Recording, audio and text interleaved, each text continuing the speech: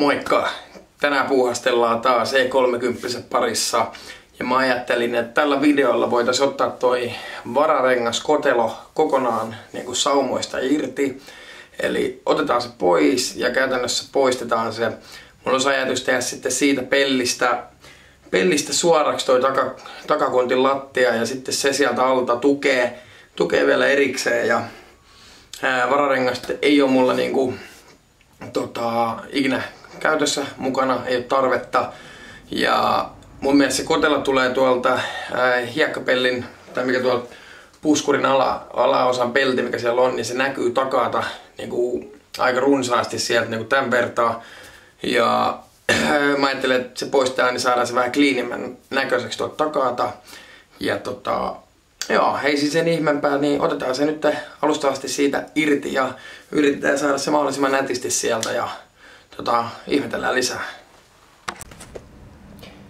Tässä ei näytä nyt niin, niin pahalta sillä mutta jos kauempaa katsoo, niin se kyllä huomaa.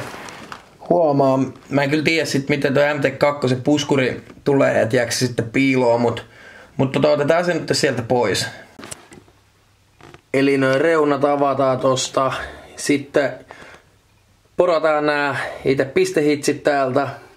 Ja sen jälkeen tuolta kammetaan, kammetaan se auki. Eli tuolta koko matkaltaan vedetään toi irti.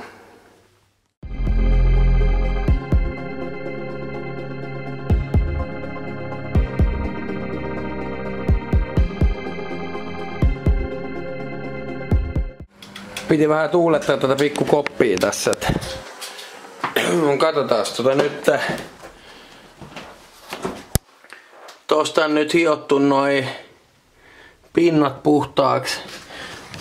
Tuosta nyt näkee noin pisteet, niin tuolla noin hitsipisteet, niin ympäri tota koteloa, niin pitää sitten porailla ne kaikki auki, niin ton saa sitten nätisti tosta pois.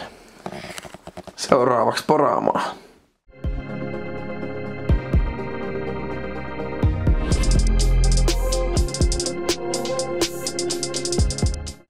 Nyt on kaikki porottu auki.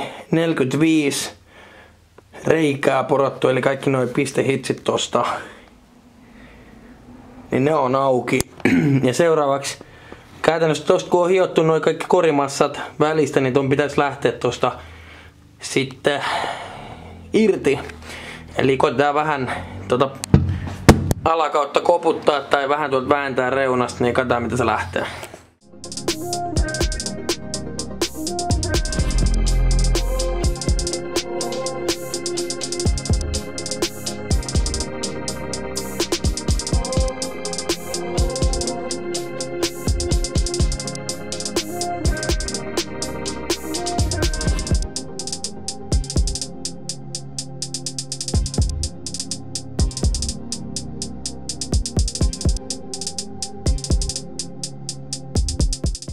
Joo, sai jonkun aikaa painia ton kanssa. Ja tosiaan vähän isommilla, isommalla poranterällä olisi voinut vetää, niin ei olisi ottanut kiinni. Nyt joutuu vähän vääntelee, vääntelee auki myös. Mut noin tuolta taputellaan sitten suoraksi ja tuon olisi sitten tarkoitus suora peltiväsää ja tuolta poikittain tukee myös toi kontin alaosa ja tota,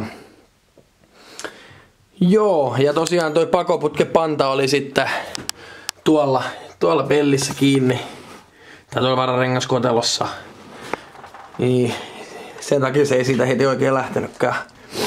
Mutta tässä on nyt aika lailla toi irrotus. Nyt on noin ruosteet ja massat tosta harjattu auki ja tota, tuolta toiselta puolelta ottaa sitten kun sinne puolelle siirrytään, niin alkuun vedetään täältä sisäpuolelta kaikki. Nyt se olisi siinä. Tällä kertaa oli vähän yksinkertaisempi video ja tosiaan tällä tavalla mä otin irti. Varmaan aika monessa muussakin automallissa on samalla tavalla ja samalla tavalla lähtee. Ja jos on tarvetta omaa autoa tehdä, niin tietää vähän, että ää, miten lähtee, jos ei ole entuudes, entuudestaan tietoa. Mutta tää oli tällä kertaa tämmönen ja me palataan taas ensi videon parissa ja se on tällä kertaa moro taas.